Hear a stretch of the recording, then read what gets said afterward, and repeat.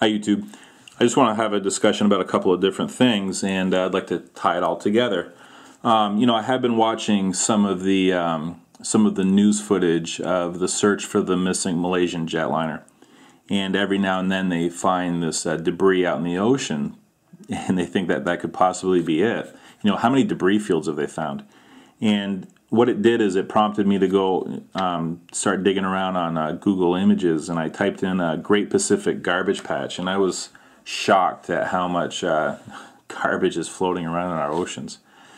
And uh, you know, I, I, do remember seeing a 60 Minutes piece uh, oh, quite a, quite some time ago, and, and they detailed all of the electronic waste and how it went to you know one or two small countries. It was like Bangladesh or Bangalore or something like that and they showed these kids playing on these mountains of garbage, and it, it was just it was kind of sad. And I, I went to uh, I, I, read an interest, interesting article that kind of piggybacked off that, and what the article asked was, what if everybody on Earth lived like an American? What would we need for resources to uh, to satisfy that insatiable hunger that Americans have to consume? And uh, the answer that they came up with was that we would need 4.1 Earths worth of resources just to satisfy uh, demand if everybody on Earth lived like an American. I mean, that was pretty eye opening, to be honest with you. Um, and I mean, I get it. You know, why do we consume like that? Well, the answer is quite simply because we can. Okay, uh, that's just, I mean, the way it is. And uh, so we have 5% of the world's population. Um, we use 20% of the Earth's energy.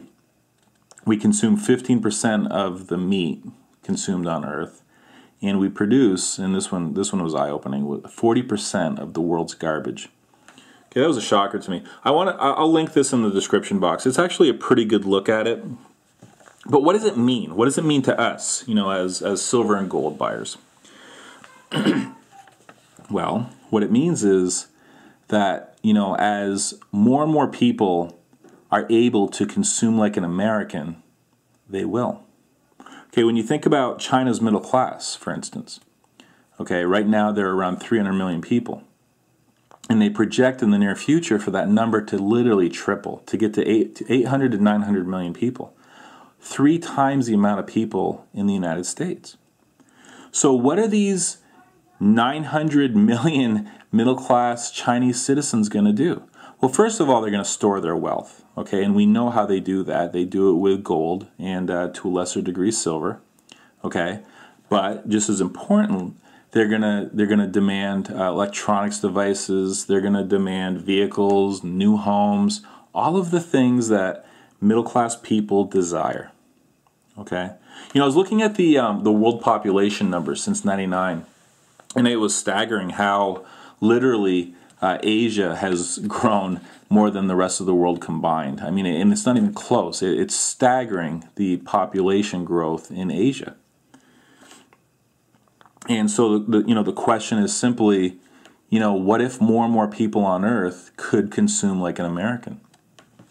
You know, the the the metric that they always use for silver is how many ounces of available above ground silver is there for everybody on earth. You guys have seen that. I mean, we've all seen that. And uh, I, you know, who knows? It comes out with to like a tenth of an ounce or a quarter of an ounce or you know whatever it is. It's less than an ounce. And I, I think that's kind of a false metric because so many people are so dirt poor that you know silver will never impact their lives in the least. Okay, so the question is more like how many ounces of silver are available to satisfy X amount of people that have reached a minimum uh, uh, of an economic status. So you could almost say lower middle class kind of thing.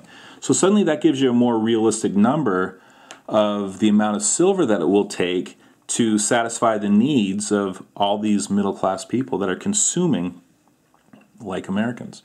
And I recognize that you know even you know e- even with China's growing middle class, they may not get as piggish as we are. I mean, let's face it. I mean, we're we're we're, uh, we're, we're pretty bad. You know, and, and not only that, think about uh, the growth of storage units. Okay, what does that say about our culture? Can you imagine explaining that in another country, you know, to, to some poor kid in Jamaica and going, oh, yeah, yeah. In the United States, they have so much crap that they literally have to pay somebody to go to the middle of town or sometimes the middle of nowhere. I mean, some of these storage units pop up in you know literally in, in the middle of nowhere, and uh, and literally just keep all their stuff in these little buildings, and they pay for this. You know, it's not it's valuable enough to keep, but not valuable enough to keep in your home. Hmm. And look, I, I recognize that sometimes it's short term, yada, yada, yada. But the simple fact is, these storage units are popping up everywhere, and a lot of people use them for long term storage. I mean, it, it's, it's, it's insane if you really think about it. I mean, if you, if you don't have room for all that stuff, get rid of it. Isn't it amazing how, you know, we used to live in a one bedroom apartment and uh, my wife and I kind of chuckle about it, and I, I, just can't believe there's not a chance. No matter how much space you have, you already always grow into that space. It's it's staggering. But regardless, you know, it, it just kind of gets the wheels spinning in my mind when you think about if everyone on Earth consumed like an American, it would take 4.1 Earths worth of resources. So what's going to happen? You know, what what what are the kids in China that are poor? you know, that are working right now, and, and some of them are entrepreneurs. You know, when they reach that status, they're going to spend it. They're going to spend their money. They're going to consume. They're going to buy electronic gadgets. They're going to do all the things that we do because we can. So, I mean, that's kind of how I see things playing out into the future is, you know, you'll need more and more silver. You know, that ratio will, will be uh, shrinking about the uh, the amount of silver available to satisfy each one of these people because there'll be more and more people coming along.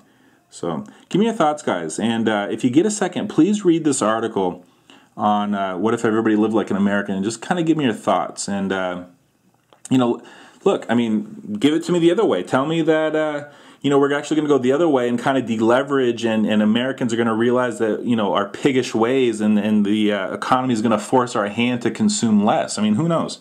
All I know is I, I just don't see it out there. I, I see people falling into the same traps that they've always f- fell into. I mean, we've talked about this before.